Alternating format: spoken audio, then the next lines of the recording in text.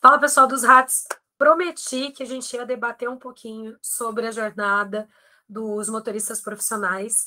Coincidência ou não, é, saiu uma decisão ontem, né, é, de uma DPF, em que o STF falou que negociações coletivas, acordo coletivo, convenção coletiva, não pode simplesmente falar que, que os motoristas profissionais não serão submetidos a controle de jornada. A partir do momento que esses profissionais é, tiverem controle de jornada, você vai aplicar as regras ali pertinentes ao controle de jornada, ok? É, foi bem tranquilo. Por que, que chegou no STF isso aí, né? Porque a gente sabe, eu já conversei sobre isso com vocês, essa semana, inclusive, é, sobre a força mesmo, né, gente, do, dessas negociações coletivas, os princípios que regem as negociações coletivas.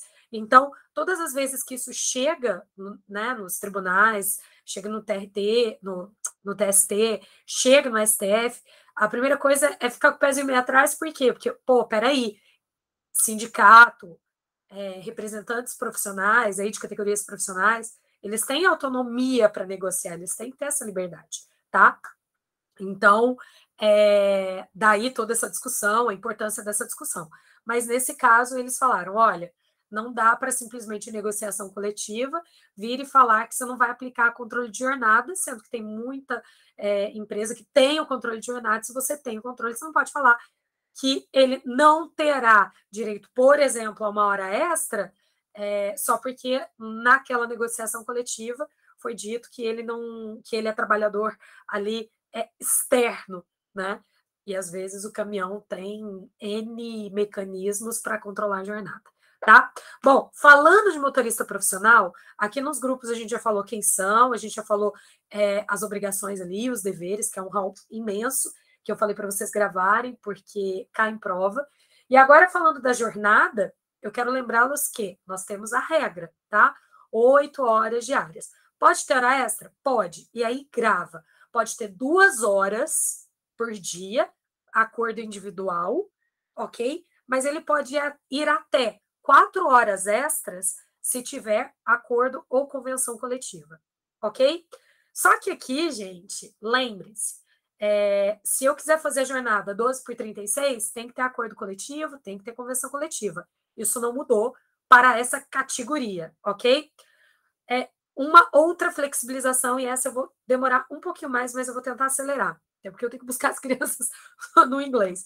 Mas antes de acelerar, guarda Hoje é dia 2 do 6. Daqui quatro dias nós temos o Intensivo TRT de São Paulo. E eu estou avisando para vocês fazerem o curso. Porque, gente, esse curso tá animal, ok? E, ó, vou guardar um presente só para o pessoal dos RATs, tá? Qual o presente? Vou falar no final do vídeo. Então, escuta, vamos falar da flexibilização aí dos motoristas profissionais. É, os motoristas profissionais, a gente teve uma flexibilização trazida pelo legislador infraconstitucional que foi a, a colocação, né, podemos falar assim, do tempo de espera, tá? Nós tínhamos três tempos aqui, três lapsos que a gente considerava para o motorista profissional. Você tinha um tempo de reserva, não tem mais, ok? Em 2015 caiu. O tempo de espera, que tem e vai cair em prova, guarda o que eu falei, e você tem o tempo de descanso. É, por que, que eu estou falando que vai cair? Porque são regrinhas muito específicas tá? Ok, Carlinha, mas o que, que é esse tempo de espera? Aí eu vou ler o parágrafo oitavo, tá? Do artigo que trata desse assunto. São considerados tempo de espera as horas em que o motorista profissional ficar, escuta porque vem requisito, aguardando carga ou descarga do veículo nas dependências do embarcador ou do destinatário e o período gasto com fiscalização da mercadoria transportada em barreiras fiscais ou alfandegárias, não sendo computadas como jornada de trabalho nem hora extra. O que, que é esse tempo de espera, caceta? Que em Santos nós temos um porto, o maior porto da América Latina, sensacional. Direto tem que é tantão de caminhão descendo. E é lógico, não é assim, chega, já descarga, pá, pá, pá, pum. Não. Quando você passar no TRT de São Paulo, você vai fazer visita aqui no Porto, tenho certeza, porque vários alunos que tomaram posse nesse último unificado vieram passear aqui no Porto. Então vamos lá. Você vai observar ali o tempo que essa galera fica parada esperando a descarga, às vezes a carga do veículo. Lógico, na estrada você está passando, você vê postos fiscais, pesagem, às vezes alfandegários, né? Quando você vai mudar ali de um país para outro, né? A gente tem é, diversas fronteiras, né? Então, às vezes, você tem muitas barreiras alfandegárias também. Gente, não vai computar, tá? Pô, mas a criatura vai ficar ali parada, sem ganhar nada? Opa, aí é que tá. Ela ganha, tá? O motorista vai ganhar 30% de indenização. 30% do quê? É, é, qual é o cálculo? Qual é a base de cálculo? Salário hora, normal. Você vai pegar o salário hora, normal, vai tirar o salário hora e vai botar 30% e essa indenização dele. Por isso que você não vai computar na jornada, ok? É, lembra que eu falei do que tem mais requisito, tá? e tem mais coisa para falar desse assunto que é importante, está na lei também. Vou ler para não ficar muito repetitivo ir puxando o que vocês têm que se ligar, tá? Quando a espera do parágrafo que eu acabei de ler for superior a duas horas ininterruptas, ou seja, ficou esperando mais de duas horas ali na fila para descarregar, e for exigida a permanência do motorista, não dá para tu sair, tu tá na fila e tu tem que ficar ali, junto do veículo ok? Mas o local ofereça condições adequadas, e aqui eu fiz um materialzinho muito resumido que eu vou jogar para vocês aqui, tá? Só com essa compilação para ajudar a visualizar, ok? Mas façam a fichinha de vocês. É, aqui, essa parte de condições adequadas vai dar discussão, e obviamente não dá para a gente conversar sobre isso agora, porque senão vai ficar muito extenso. O tempo será considerado como repouso para os fins de intervalo do que trata o parágrafo segundo, parágrafo terceiro, lá que trata do tempo de repouso, ok? Beleza. E o mais importante, parágrafo 12. Durante o tempo de espera, o motorista pode realizar movimentações necessárias no veículo e não serão considerados como parte da jornada, tá? Por que, que eu tô falando isso? Porque eu falei, ó, esse tempo de espera, quando for mais de duas horas ininterruptas, e ele tiver que ficar ali, presente, você pode considerar como repouso, se tiver condição, ok?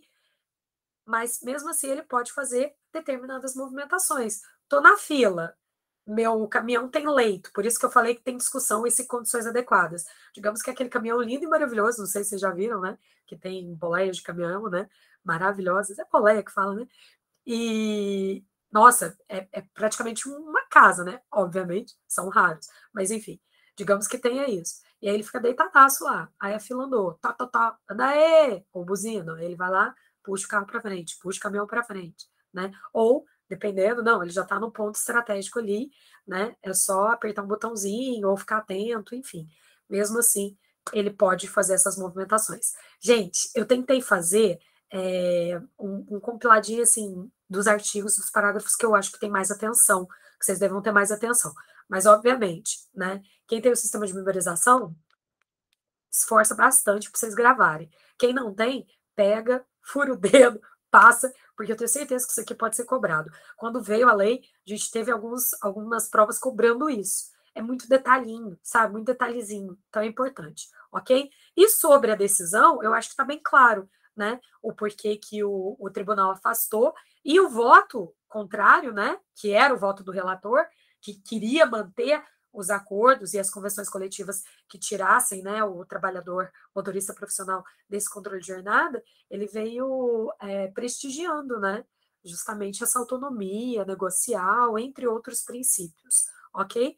Bom, é isso. Espero que essa super, ultra mini aula tenha ajudado de alguma forma. Fiz um vídeo muito bacana hoje de manhã, tá salvo lá no Instagram, sobre ansiedade, a inação, Posso fazer depois uma outra live para vocês para falar sobre é, autossabotagem, que eu acho muito bacana, e eu vejo muita gente fazendo isso, praticando com maestria, né? Essa questão da autossabotagem. E eu falei que eu ia deixar um presente para quem é do RAT, para quem assistiu até o final. Lembra que eu falei que o intensivo TRT de São Paulo é, começa dia 6, né? Falei, segunda-feira, Próximo agora.